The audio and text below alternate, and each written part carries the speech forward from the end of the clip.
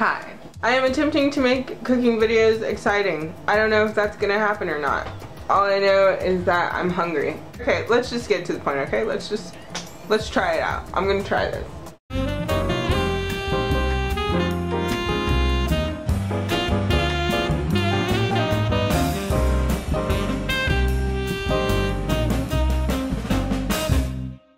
Quinoa is this stuff. Can you see that stuff? Ooh. Ooh.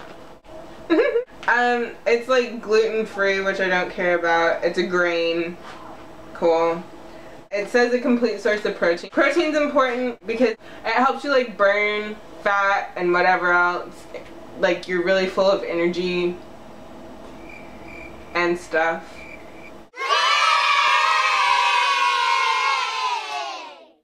One time I worked at a restaurant, the chef made fish. No, he made like pot roast of some sort, some sort of beef. That's gonna be really embarrassing if pot roast is like a pork. this guy who was like Mr. Muscles and he was really hot. But he, anyways, he like sat down across from me. It was so awkward. I was like, is this what you're like on dates? Oh my goodness. Oh my goodness. But anyways, I was like, why are we eating this today? And he was all like, oh, well, it's to be really busy today. We're really booked up. So um, he made us protein. Infer from that what you wish. Protein is really important if you are a vegetarian or a vegan. I feel like I'm staying like right with the camera. Okay, look, I've moved. Can you see me? I hope you can't see too much of me though because I'm not wearing proper pants. Let me move up a little bit. so I was a vegetarian for five years. I'm a huge fan of this book, The Kind Diet by Alicia Silverstone. This book is good. This book has a, a recipe on quinoa. Look, see, quinoa. If you're a vegan or a vegetarian and you need to get more protein in your life, quinoa will work for you.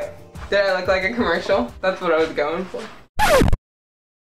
You don't actually have to buy all these recipe books. I am looking at one, two, three recipe books right now. If you don't own a recipe book, don't worry about it because the directions are on the back of the package.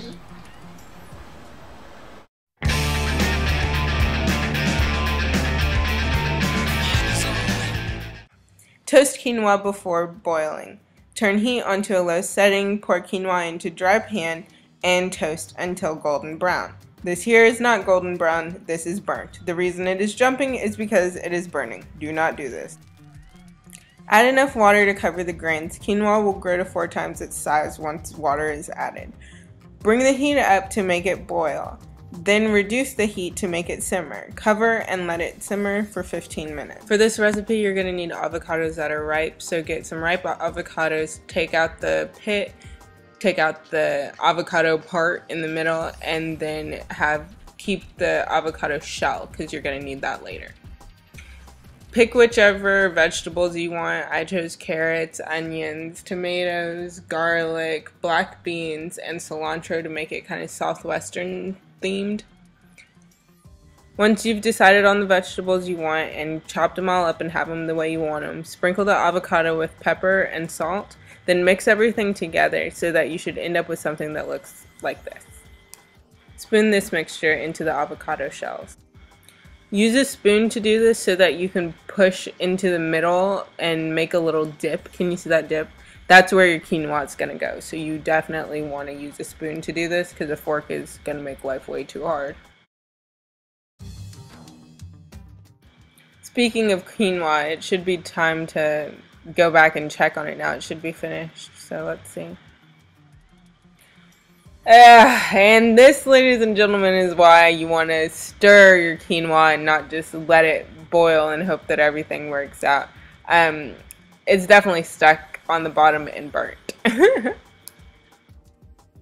if you do burn your quinoa, just use a spoon to scoop off the parts on top that aren't burnt and use that. It'll be just fine. That's what I did. So grab your stuffed avocado shells and just spoon the non-burnt quinoa into the middle and you should end up with quinoa stuffed avocados.